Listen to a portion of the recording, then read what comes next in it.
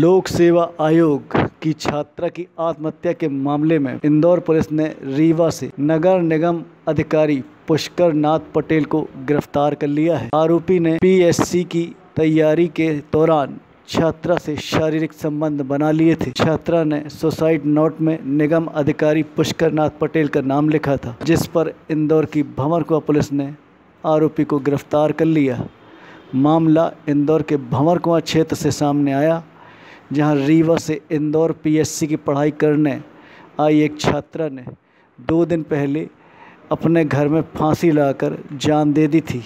छात्रा यूपीएससी की तैयारी कर रही थी। सात जून में दिन में एक पीएससी की तैयारी करने वाली छात्रा ने इंद्रपुरी में अपने किराए के मकान में फांसी लगाकर सुसाइड किया था और जब उस घटनास्थल की जाँच की गई, तब मृतिका के कपड़ों में से एक सुसाइड नोट बरामद हुआ था। सुसाइड नोट के आधार पर आरोपी पुष्कर नाथ पटेल निवासी रीवा के विरुद्ध धारा 306 आईपीसी का प्रकरण पंजीबद्ध कर विवेचना में लिया गया था। विवेचना के दौरान जो आए साक्ष्य हैं उसके आधार पर आरोपी को अरेस्ट कर लिया गया है रीवा से।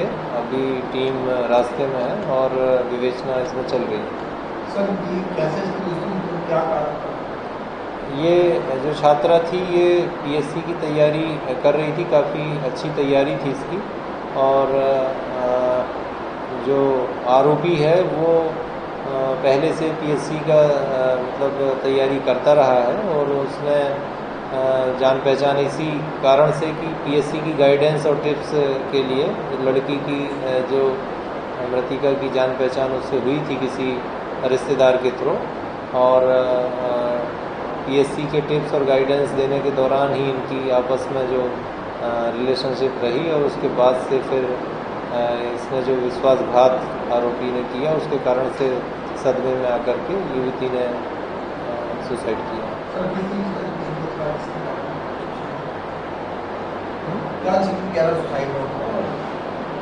सुसाइड नोट में आरोपी पुष्कर नाथ उसने अपने भाई को संबोधित करते हुए कहा है कि इसके कारण से मैं मतलब जान दे रही हूँ और भाई तुम इसको इसको माफ़ मत करना।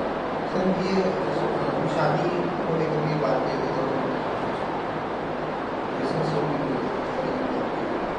अभी मामला इन्वेस्टिगेशन में है अभी और इसमें जाँच होना बाकी है अभी और भी इसमें मोबाइल और लैपटॉप वगैरह की जाँच होना अभी बाकी है। जो भी चीज़ें जाँच में आएगी उसके अनुसार इसमें आगे कार्रवाई नहीं नहीं ये इंदौर में नहीं रहता है ये रीवा में रहता है। तो क्या करता है ये किसी शासकीय नौकरी में है और जब आएगा तब फिर पूछताछ में पता चलेगा कि क्या कहाँ पर रीवा में। उनका नाम अनूपपुर